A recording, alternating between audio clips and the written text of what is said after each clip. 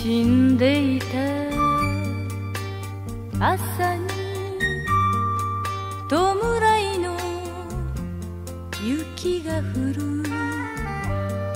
はぐれ犬の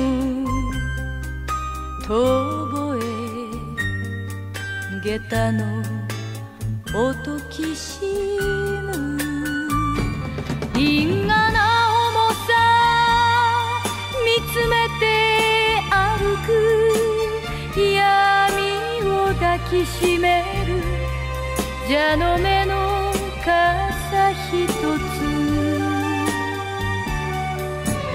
命の道を行く女。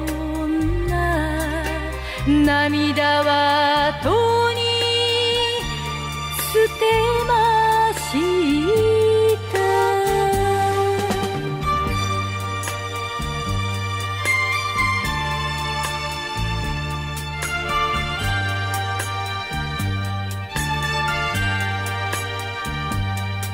振り向いた川に